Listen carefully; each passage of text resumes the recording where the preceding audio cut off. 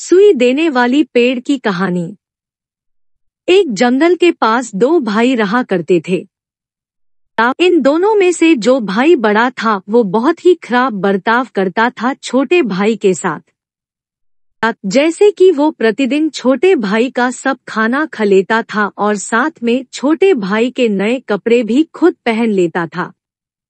जा एक दिन बड़े भाई ने तय किया कि वो पास के जंगल में जाकर कुछ लकड़ियाँ लाएगा, जिसे कि वो बाद में बाज़ार में बेच देगा कुछ पैसों के लिए।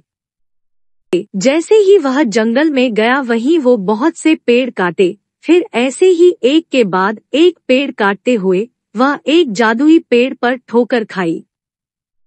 ऐसे में पेड़ ने कहा, अरे मेहरबान सर, कृपया मेरी शाखाएँ मत काटो।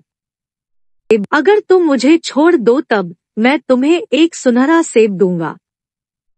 वह उस समय सहमत हो गया, लेकिन उसके मन में लालच जागृत हुआ।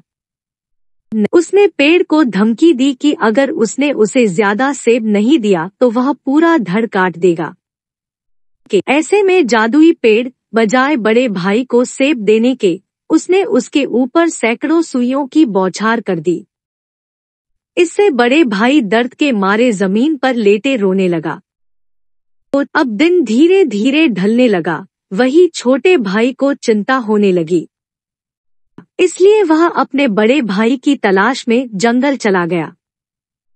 उसने उस पेड़ के पास बड़े भाई को दर्द में पड़ा हुआ पाया, जिसके शरीर पर सैकड़ों सुई चुभी थी। उसके मन में दया आई। वह अपने भाई के पास पहुंचकर धीरे धीरे हर सुई को प्यार से हटा दिया। ये सभी चीज़ें बड़ा भाई देख रहा था और उसे अपने पर गुस्सा आ रहा था।